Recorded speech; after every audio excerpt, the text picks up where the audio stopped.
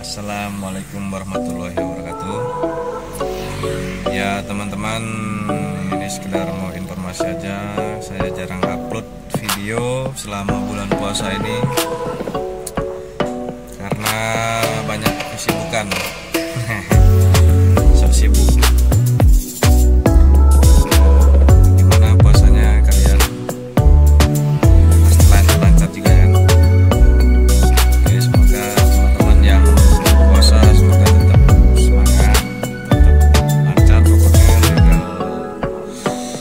Beberapa hari lagi.